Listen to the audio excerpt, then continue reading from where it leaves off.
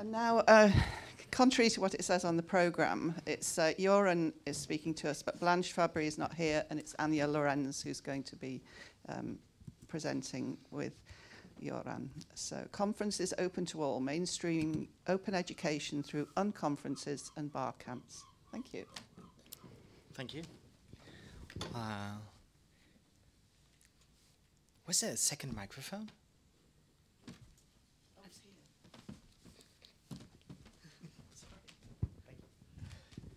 So not hard to guess that this is Anya and me, I'm Joran.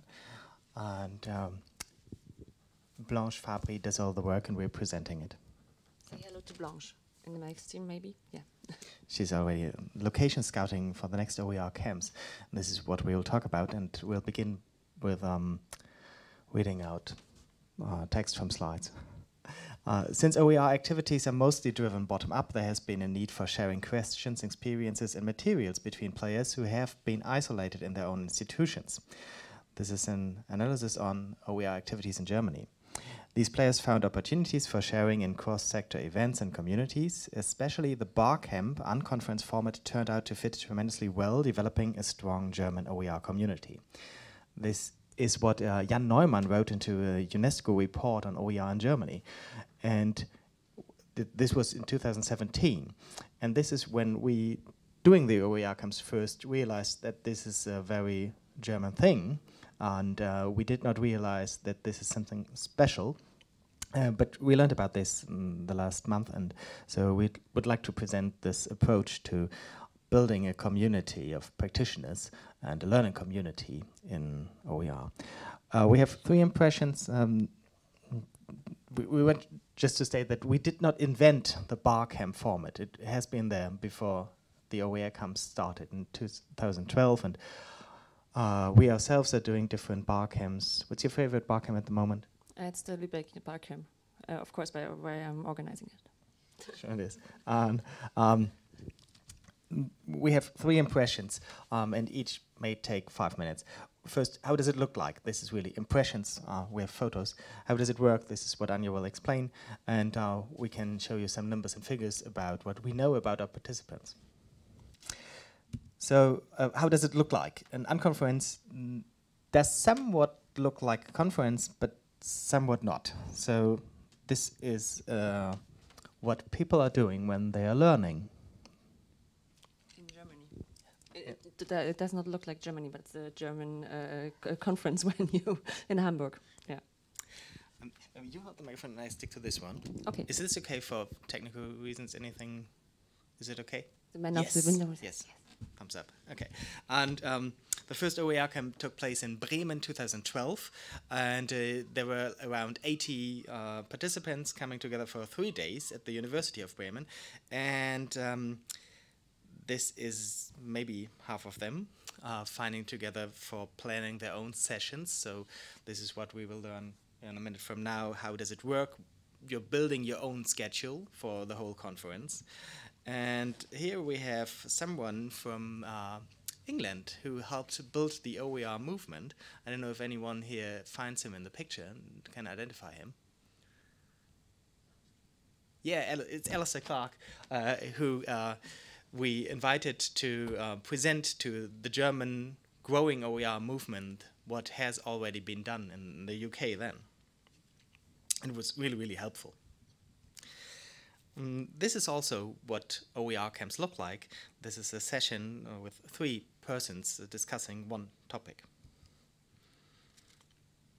It can be a huge session with um, eight participants or uh, even more. So there are no fixed numbers and there are no typical settings for what a session in an OER camp is. But what you find is that there are less uh, presentation and less panel formats and more discussions and um, conversations happening on OER camps. And sometimes also it's about doing and making and trying out and working together and collaborating on uh, specific questions. But we also have presentations. So this is a last slide on how they look like and because they are very very how to say it, open when it comes to how to design a session. So we always have a plan with certain rooms and where each session will be, and there always has to be a column for somewhere else because someone wants to do something somewhere else, which, for example, can be in front of the building. Anya will continue with the 101 on how does a bar camp and an OER camp work. Yeah, okay. I uh, agreed to, to support you and for the talk because uh, he, um, I, I, also organize bar camps and uh, I also have been on four four OER camps, I guess. And so uh, this is the difference between bar camps and uh, normal conferences. In conference, you have participants and speakers. So uh, there is a uh, distinct uh, roles for both.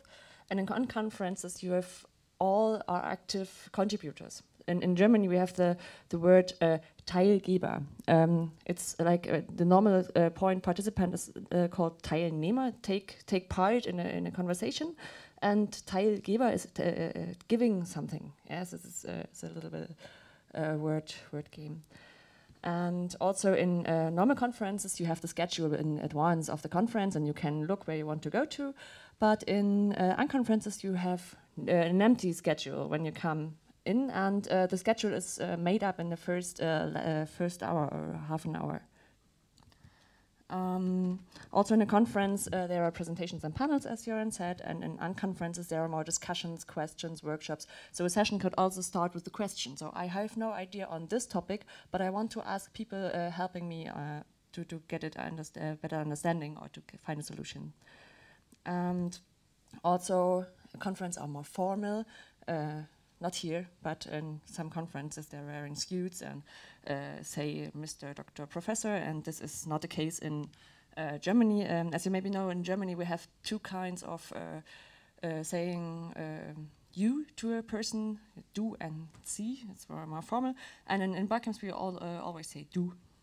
And yes, so in Barcamps, um, it's make um, you make the difference. You are responsible for an interesting uh, schedule. You're in, uh, responsible for interesting topics, and if you leave and say, "Ah, oh, this was not that good," it's your fault. um, you don't need to prepare a presentation, so uh, making all the slides uh, is not possible. You can also stand in front and ask something. You can uh, hold something up. You can Google something in between. So it's uh, not not demanded for a scheduled plan. And there can be as many sessions as there are rooms, um, if someone is uh, suggesting a session, and uh, sometimes even more if the weather is nice and you can go outside. Um, there are further rules that uh, there's a minimum of two attendances, so the speaker and uh, uh, some people else, so otherwise the people can talk with themselves. Um, and, uh, and you can also provide several sessions, not at the same time, but after, after each other and uh, you should uh, give your session now and not tomorrow. So uh, the bar camps are mostly uh, on two days, and you should not wait because maybe there's a question open at the end of the session, and you can offer the next session at the next date. Um, and um, the most important uh, uh, um, rule for me is if you can't uh, contribute to the session anymore, or it's not the topic that you thought it is about, you can go out of a session, and it's no, it's no sign of disrespect. Okay, and yes, uh, then there's a um, there's, there's so many rules by the way. It's seventh after the tenth. Um, yeah, um, the, um, you have you do not have a fixed timetable, but you have a fixed time slots. So if your session is over, it's sort of respect for the, the people who are coming afterwards to leave the, the room and do this uh, afterwards discussions outside. Every session uh, uh ends after 45 minutes. Um, there should be a documentary. So my, most time we have Etherpads or Google Docs uh, um, that where you can document a session, so people who decided for another session can look after it. Okay, that what it looked like um, the session making at the OER camp in Berlin last year. So um, the the schedule is empty everyone who wants to offer a session comes into a line. Uh, German like to stand in lines, and uh, then they uh, promote their sessions, and uh, they all, raise their hand up who's interested, and they are uh, wrote into the session plan. So the session plan is empty at the first uh, at the first date at the beginning, and there's a link to a, future documentation. and it is full at the end of the session planning, which is most uh, half or, or an hour after the start of the session planning. Okay, and Joran will talk about the feedback and evaluation of the OER camps. Mm -hmm. Um, we did one OER camp a year from 2012 to 2016, and in 2017 things changed because we got funding and uh, we had the aim of mainstreaming OER. So we could do four OER camps in 2017, and we asked the participants a lot of questions in advance and afterwards for the feedbacks. And uh, there were some numbers and figures. Uh, we have more on the slides that you can read afterwards if you'd like to. Uh, we just want to point out some things.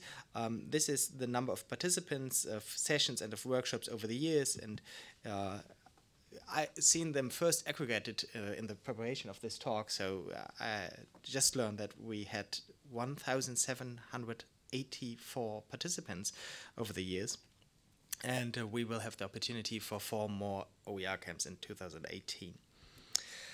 Um, just to give you some impressions, um, we have um, pretty um, equalized participation rates when it comes to, to gender. Or we ask about form of address, so we have about 5% that shows that's not my way of categorizing the world. And we have nearly 50% who prefer vegetarian food. So uh, this is probably a um, sign that the people coming to OER camps are not representative of, of German population. Um, what I really like about OER camps, and which really is helpful for, for forming a learning community, is that they come from very diverse backgrounds and with very diverse level of knowledge. So we asked them about uh, their own knowledge, um, and 59% said they are beginners, and 70%, uh, 27% said they have basic knowledge, and um, you see that 27% um, also said they have advanced knowledge, and some of them even describe themselves as experts. But that's not normally what we see when, when we do a conference. Um, normally, the, the beginners and the experts have different places to go to. Um, this is also describing the diverse field uh, when it comes to, to participants from OER camps. We asked them, when did you consciously notice the term open educational resources for the first time? And you see that many um, participants have come to the debate within the last years, 2015, 2000, 2017, but there were also some, some early adopters that noticed uh, the term in 2010, which was really early in Germany. Um, they also come from different uh, educational sectors, so this is also interesting because we don't have conferences or meetings uh, from certain sectors, but they all meet uh, at the OER camps. Mm, this is what people answered when we asked them about their primary area of activity. So most of them said they are into teaching, but uh, there are also many people into producing, uh, distributing uh, materials.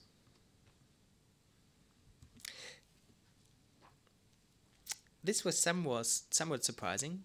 Um, but maybe people thought they should answer that they have a pedagogy background when they are asked about their interests in OER.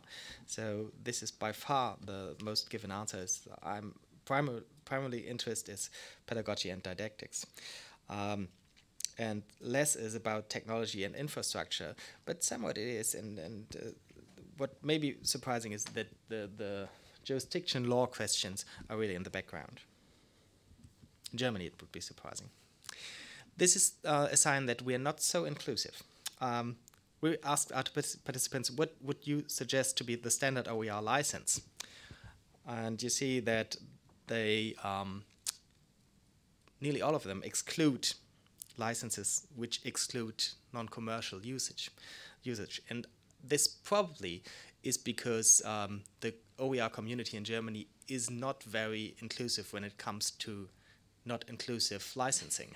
so there probably are many um, advocates for NC licensing, but they are very much in the background and not as loud at the conferences and meetings of the OER community.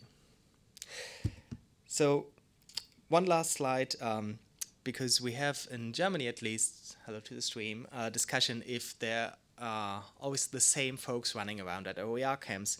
And I know this feeling because I know, ah, I've seen them, him or her four times in the last year on OER camps, but numbers don't show this. So we asked them, have you attended an OER camp uh, in the last years? And 300 um, out of the, the participants in, in this question said, no, not before 2017. So you recognize familiar faces, but probably this is a bias because you recognize them and you don't uh, look at the faces you're not familiar with. This should have been the last slide. This is good for reading afterwards. Okay, thank you.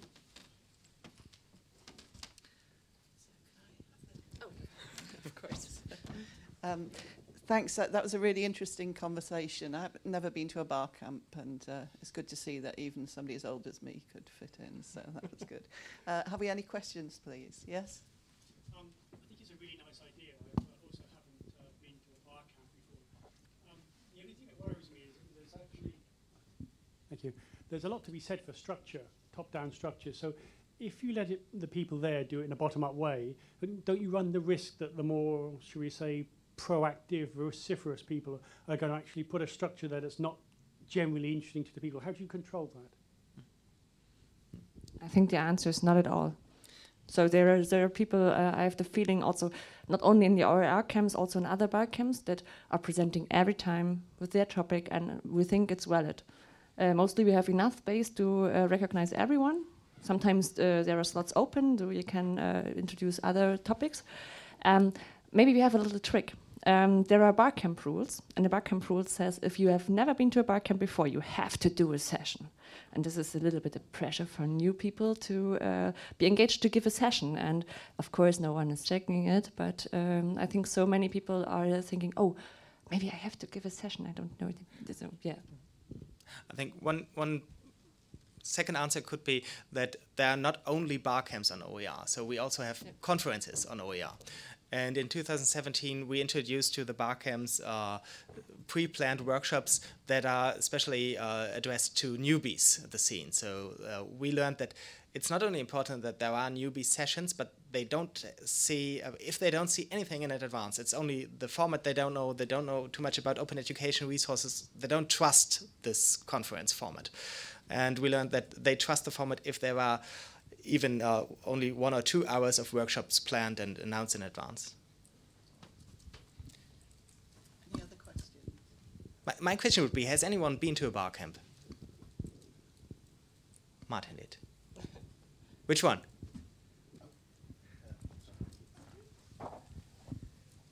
It was actually more of a kind of unconference. It was uh, open knowledge in Berlin, so it's, it's it's obviously a German thing, you know.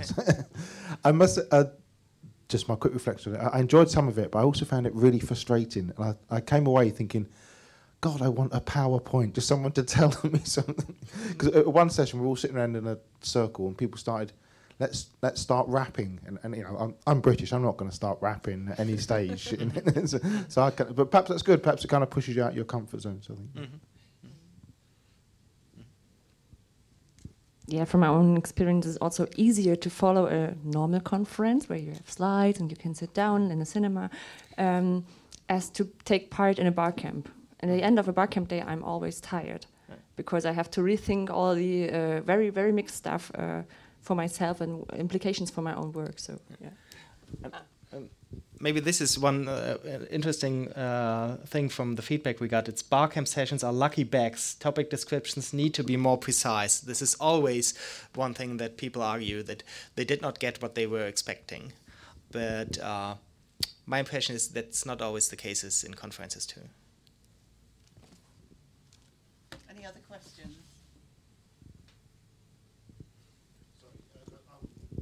Yeah, yeah.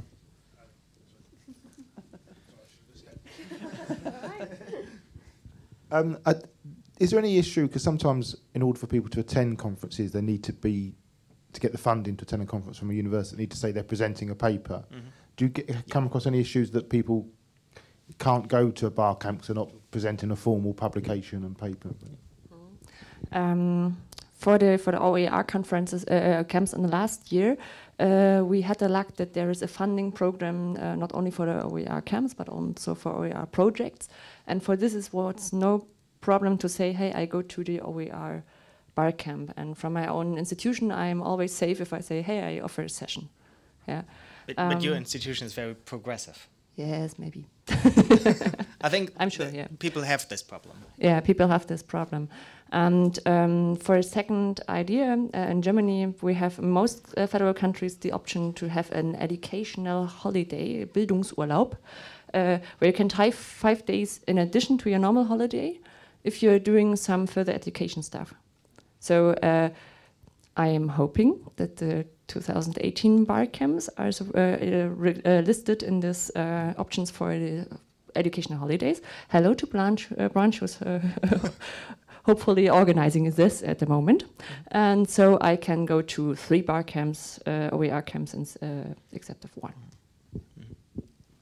And I think mostly it's also a further education option for teachers, so they, they have it in their lists. Have we any, any other questions? Well, no. Right, well, I, I had a sort of question and a sort of comment. One was, I really liked the, the way you presented it because, and what you've said in answer to the questions because it really shows the tensions between structure and mm. agency. Mm. And you know nobody's going to get that right for mm-hmm. everybody mm anyway. But if you're sufficiently reflective, then you're going to continue to mm flex and make it as um, as uh, sort of available to uh, as many people as possible. Uh, the second was a question was I was trying to compare it with things that happen in my locality and they tend to be outside of um, universities. So there's something Mhm. called Mad Lab in Manchester, which is a digital lab that has lots of activities loosely associated with universities, but it's run independently. And I wondered if there was a certain local feel to it that all people had to do was get on the train to attend it, so the costs were not huge for those people. I don't know if that if, if you had people coming from a Yeah. far distance. Yeah. I think this is changing now when we have four OER camps uh, in a year, in 2017, 2018, because we could place them in the north, south, west, east of Germany. But we're uh, always in all bar camps I know of trying to make it more inclusive by not having any participant fee. So it's always uh, only uh, sponsored and um, uh, the, the engagement of people uh, who, who carry this. And we had for some bar camps, not only the OER camps, uh, a budget for if you cannot afford uh, taking part in it. So at the EduCamp in, in Neuharlingersiel, uh, uh, we had this, and we have the EduCamps, which is like the mother of all educational bar camps in Germany. It has now taken place 22 times, and um, we are trying to combine this to be very family friendly. So in uh, one place where we have this uh, every second time, we have also um, uh, accommodation there, and now we made it to have. I think 25% of the participants are younger than 18 years old, and they provide their own sessions, which is really fascinating. Well, thanks very much for an excellent talk. If we could show our appreciation, we might still get ahead in the lunch queue. Okay.